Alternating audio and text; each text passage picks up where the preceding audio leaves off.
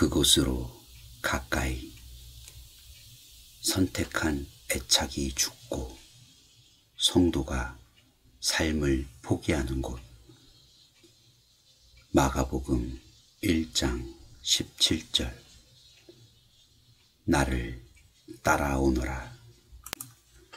예수님께 나아가는 데 있어서 가장 큰 방해가 되는 것은 기질입니다.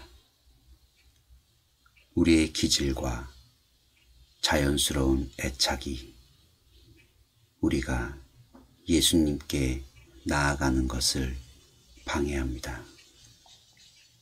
그러나 예수님께 나아갔을 때 처음에 깨닫게 되는 것은 우리의 애착이 무엇이든 주님은 그것들에게 전혀 관심이 없으시다는 것입니다. 우리는 우리의 재능을 하나님께 바칠 수 있다고 생각합니다. 그러나 그 재능들은 당신의 것이 아니기 때문에 바칠 수 없습니다. 당신이 하나님께 바칠 수 있는 유일한 단 한 가지는 당신 자신에 대한 권리입니다. 만일 당신이 하나님께 당신 자신에 대한 당신의 권리를 포기한다면 주께서는 당신의 삶으로 거룩한 실험을 하실 것입니다. 감사하게도 하나님의 그 실험은 언제나 성공합니다. 성도의 한 가지 특징은 예수 그리스도께 자신을 철저히 내려놓음으로써 그곳에서 솟아나는 영적인 셈이 됩니다. 성도의 삶에는 항상 원천적인 생명으로부터 놀라운 샘물이 흘러 넘칩니다.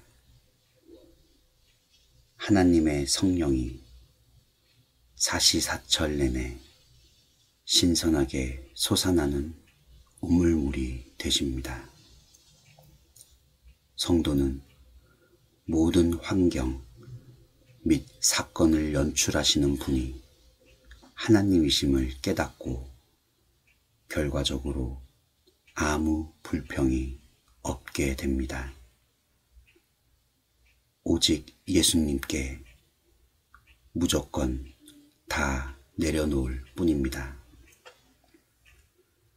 당신의 체험으로부터 그 어떤 원칙도 만들지 마십시오. 하나님께서 당신에게 원천이 되심 같이 다른 사람에게도 하나님만이 원천이 되게 하십시오. 만일 예수님께 전적으로 맡기고 예수님께서 오라 하실 때 오면 그분께서 당신을 통하여 다른 사람에게도 오라 고 말하실 것입니다. 따라서 당신은 그리스도의 오라 하는 메아리를 계속 만들어가는 삶으로 나아가게 될 것입니다. 이것이 주님께 모든 것을 맡기고 나아가는 영혼들에게 나타나는 결과입니다. 당신은 예수님께 나아갔습니까? 지금 나아가시겠습니까?